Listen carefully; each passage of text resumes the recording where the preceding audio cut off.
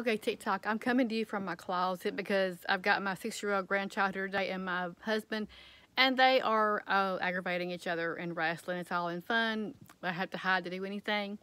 But I'm excited that I've been using the Mary Kay Naturally products. This is the moisture stick, and you can use it anywhere.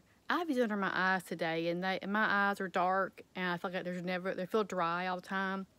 This is really hydrating and it does wonders. My eyes have felt so good all day long. And I'm kind of cautious about using retinol on my eyes. This hasn't got retinol in it. So I'm really, really pleased with this. There's a whole line. There's an exfoliator and a moisturizer and stuff. Really good line of products. Mary Kay Naturally. And there is also a facial oil.